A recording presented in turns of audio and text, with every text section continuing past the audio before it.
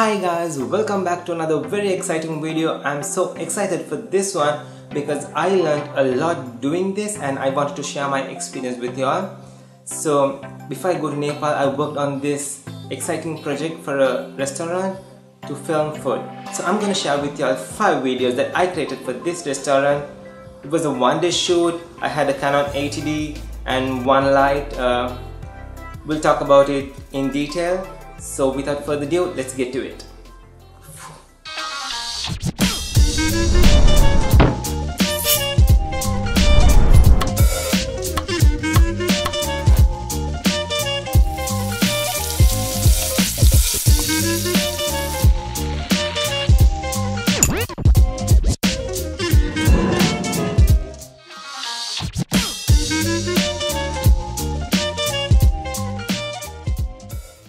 That's the first video. What do you guys think? It wasn't easy as it looks. There was research involved and what gear and how to film and the angles and the soundtrack and the feel. So you have to think of all this before you go and start filming. So if you know that it's easier for you to start filming.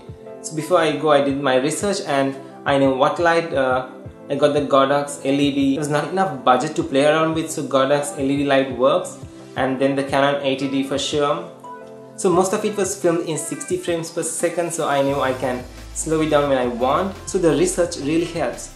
So you know how to light the scene, from where to light the scene, all of that is in your head. So once you go to start filming, it's so easy that uh, it's so comfortable, you know where to place the light, you know how to film it, how the angles you need, so everything uh, you already know. So it's not that hard for you to start filming and getting good job done.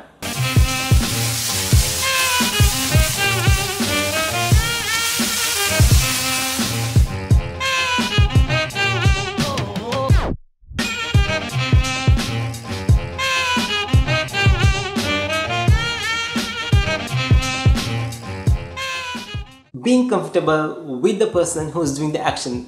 This is really important because I'm bad at cooking that's really bad. When you're comfortable with the person, he would show you demos of what he's gonna do before you're gonna do. So if you're not in sync with the person who's doing the actions, you're not gonna get the shots you need. He's not gonna do what you say.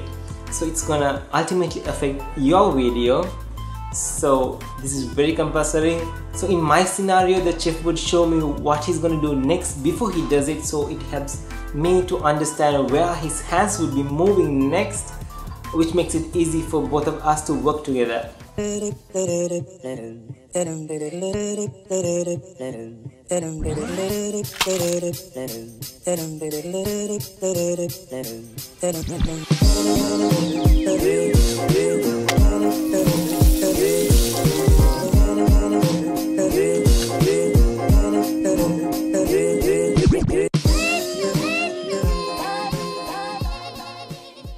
So the next thing is identifying an audio track before you go. Yeah, you have to do this before you go. So the audio keeps playing in your head while you're filming, which makes it more easier and you will get more ideas, new ideas, new angles of how it would help the soundtrack and the video together.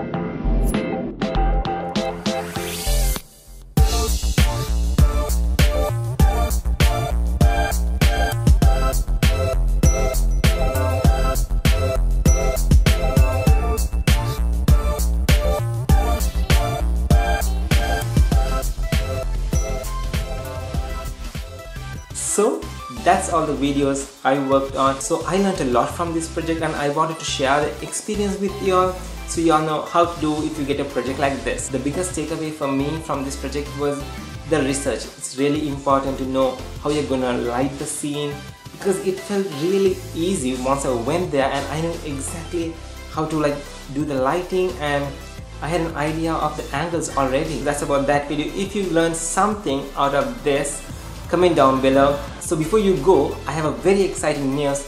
I'm planning to feature inspiring success stories of creatives that I have met in my life and that I'll be meeting in the future right here on this channel. It's going to be a web series every week. Stay tuned.